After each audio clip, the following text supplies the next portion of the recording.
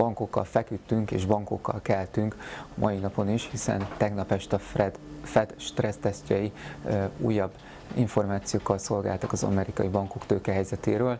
Nagyon sok részletet, részlet látott napvilágot, két dolgot szeretnénk kiemelni. Az egyik a Bank of America volt, ami vártnál jobban teljesített, és így a korábbi negyedéves egy centes osztalékát 5 centig is emelheti a társaság, így itt meg volt az öröm.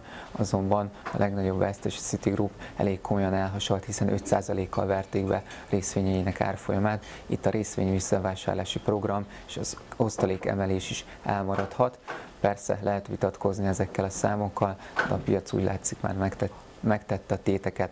A ma reggeli Raiffeisen gyors jelentés egészen jól sikerült az ukrán helyzet ellenére, hiszen a nettó profit soron, illetve a bevételekben is sikerült az elemzői konszenzust megverni, és még ráadásul a menedzsment bejelentette, hogy a, a piac által várt 75 centes osztalék egy eurónál egy kicsivel több lehet, így úgy gondoljuk, hogy itt is inkább az öröm jellemezheti majd a kereskedést, azonban az ukrán kockázatra nem árt figyelni, hiszen közel 800 millió eurónyi értékben vannak eszközök, ukrán kitettségű eszközök a portfólióban, ennek sorsa még kérdéses, és ha már Ukrajna, akkor a mai napon minden bizonyal megszületik az IMF megállapodás, és 15 milliárd dollárral lesz gazdagabb Ukrajna.